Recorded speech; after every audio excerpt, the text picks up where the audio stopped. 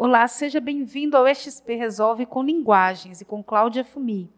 Nós temos aqui uma questão fácil de fazer com um comando bem curtinho, que já começa aqui, ó, pre começa a prestar atenção na estrutura, você tem aqui um verbo no gerúndio mais uma vírgula. Então, essa primeira informação aqui é só uma oração subordinada, mas o comando vai estar concentrado aqui, incorporando o devaneio da personagem, ou seja, alguém incorpora o devaneio da personagem. E você já sabe até quem é.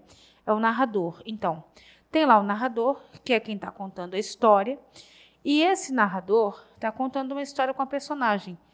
Ele incorpora o devaneio da personagem.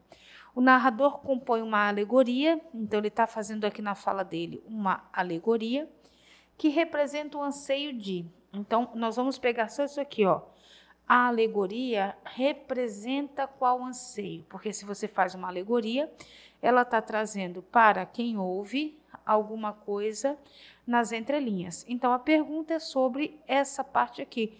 A alegoria que ele faz está representando que anseio? Ler, né?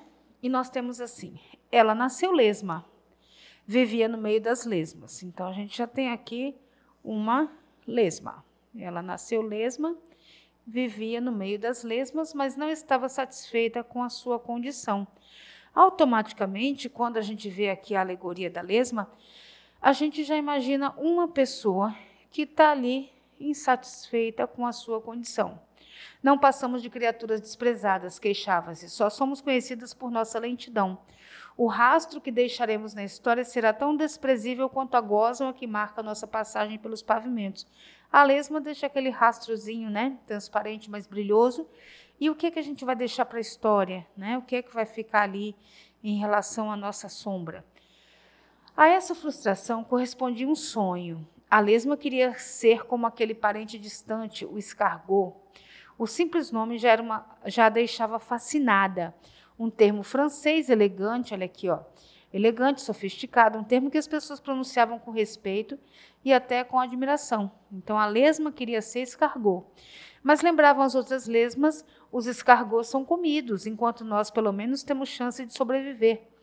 Esse argumento não a convencia a insatisfeita lesma, ao contrário, preferiria exatamente terminar sua vida dessa maneira, numa mesa de toalha damascada, entre talheres de prata e cálice de cristal. Então, entre ser aquela coisa insignificante e tá lá, numa mesa sofisticada, né? Entre pratos e talheres, ali, né? Deixa eu desenhar uma taçazinha aqui. E é, tá ali é, chamando a atenção, né? Sendo é, elogiada. Assim como o mar é o único túmulo digno de um almirante batavo, respondia, a travessa de porcelana é a única lápide digna dos meus sonhos. Então, a lesma acha, né, que é o quê? Ela precisa estar tá lá. Ah, vamos colocar aqui a lesma. A lesma acha que estar lá é morrer, mas morrer com nobreza, com dignidade. É isso que a gente tem. Então, a alegoria é a da lesma. Ela representa o anseio humano de quê? De rejeitar metas de superação de. Ela não rejeita metas, ela está aqui. Restaurar o estado de felicidade não tem restauração, ela quer mudança e não restauração. Materializar expectativas de natureza utópica. É de natureza utópica porque lesma virar escargot, né?